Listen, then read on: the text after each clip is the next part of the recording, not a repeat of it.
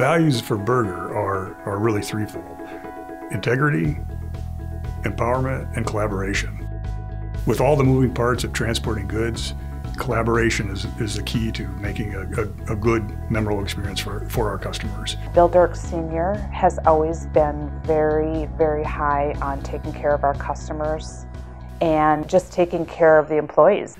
I don't think there's anything different about how we serve customers, whether we're, we've been with the company for five years, 10 years, or 15 years. Everybody serves them as though they are the only customer we have.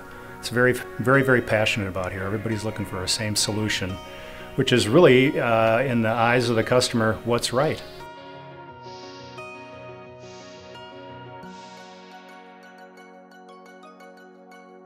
The Berger organization overall places a high value on its employees and the families of those employees. And that philosophy really extends to the people who are moving. There's a high value placed on families, on human beings, on lives within the Berger organization. You know, being a family owned company, I think the, the family values of honesty, truth are huge for all of us. And we're not perfect, and neither is a family. Families deal with issues every day, and so do we in the moving business. It's, it's not a perfect business, but by being open and honest, we can come to a good solution. Being in business for over 100 years and having longtime employees um, really helps us set the stage so that we know how to make a move go well, know how to service the customers, and know how to make it right if things don't go well.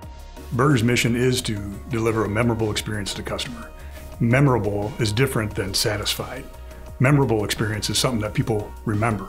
And we deliver that memorable experience because the people here have been around a long time and they really care about who they're working for.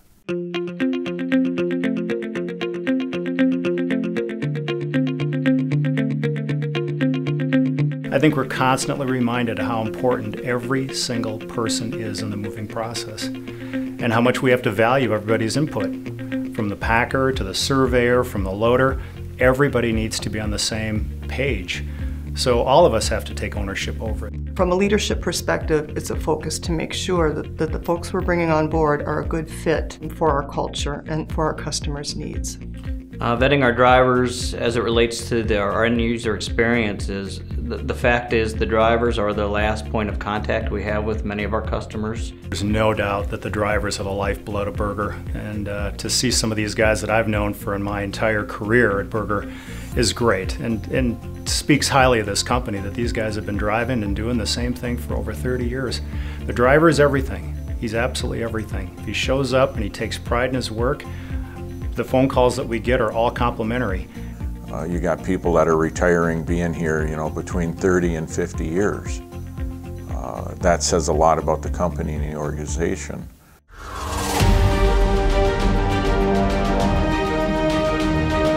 I think the future of this company is uh, unlimited. Um, you know, we've got great leadership, great vision.